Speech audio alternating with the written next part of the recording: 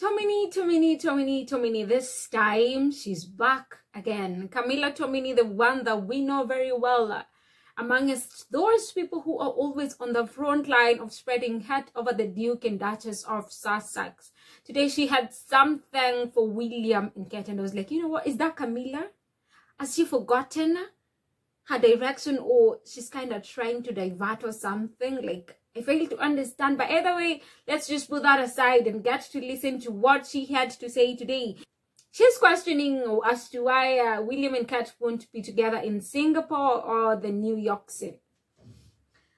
Tominey, Princess Kate is not expected uh, to accompany William to Singapore. That was her question.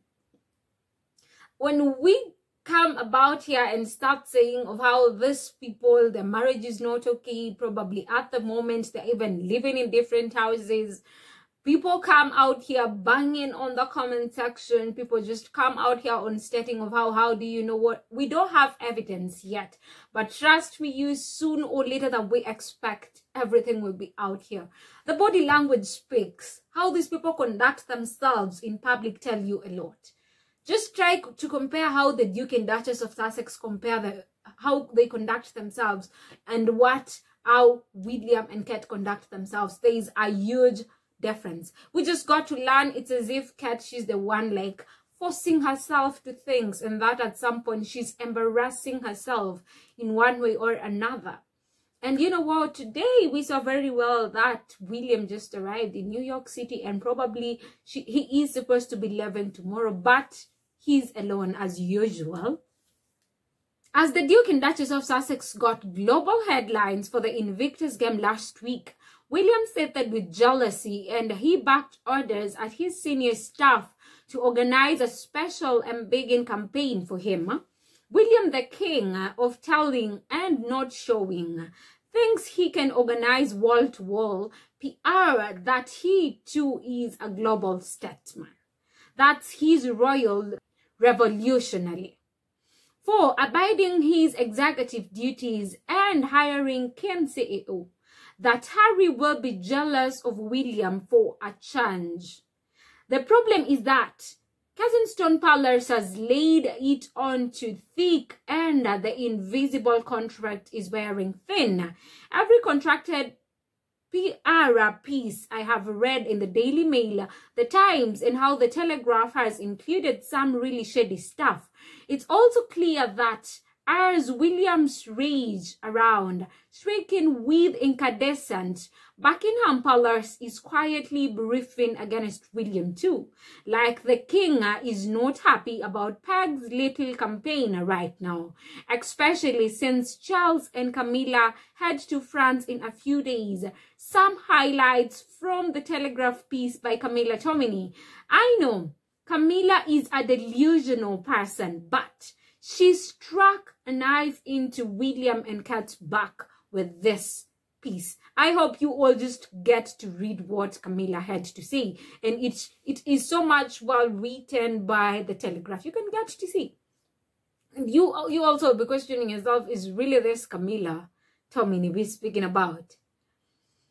William and Kat are just not okay. And the fact that they try to fake everything that they do is also the worst, worst part of it all.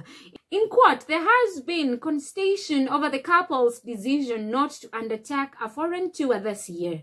And the back in time to bedtime approach is likely to wear thin as the children grow older. And isn't this what the Sussexes did? Stab after stab in her fave's back. I'm surprised Tominey even mentioned the fact that Kate has been without a private secretary for a year. No one else has mentioned that. And I still find it bizarre that no one even expects the whole Princess of Wales to actually have a partial of patronages and events which need managing. And what's that about how Kate's isn't going to Singapore. This is the first time I'm hearing of it. Kat is still supposed to go to Ken Short in November. I'm sure if she skips out on that, well, it will be pretty telling. It's already telling, it's already alarming. every single thing now that they've decided to dedicate their lives in doing, it's already raising a lot of questions at the moment. And the fact that William has just left jealousy, just envy, such things just drive him. That's where the beginning of his failure begins. And the fact that he's not ready or not willing to let go over uh, his delusional obsession over the Sussexes, that's where also he fails terribly.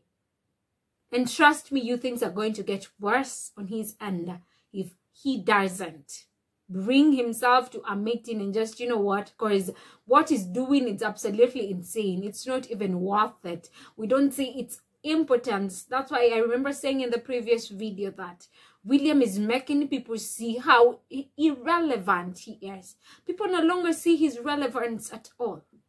And as for Kat, we wonder why he also why she also has a lot of part managers yet we don't see her working personally haven't seen one thing I hear is that they've been out there for a vacation for two months. Here they are now back, just kind of trying to fit in and just kind of trying to distract people from seeing Harry and Meghan's success. But fortunately, they didn't manage.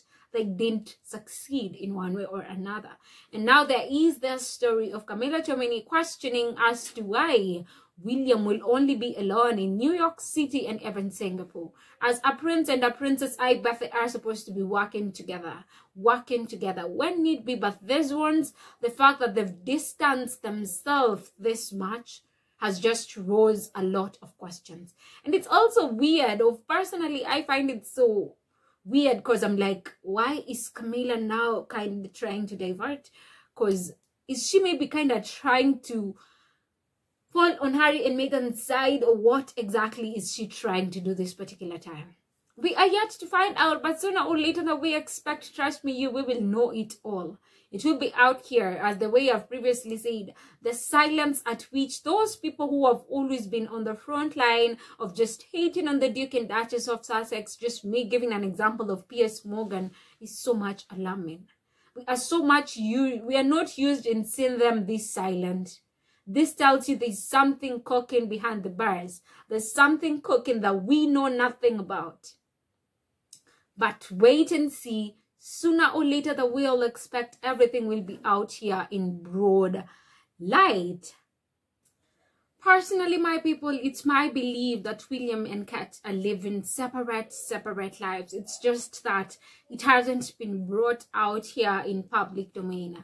But trust me, you, this is something that we can't even debate about. And plus, if that whole journey, that whole trip, it's going to be a seven days plus for people who don't talk, for people who hate each other, because we've seen of late how William has tried so much to be himself and just avoid Kat. It's really going to be a long journey for both of them. And we know very well that William is that one person who wants whole attention on him.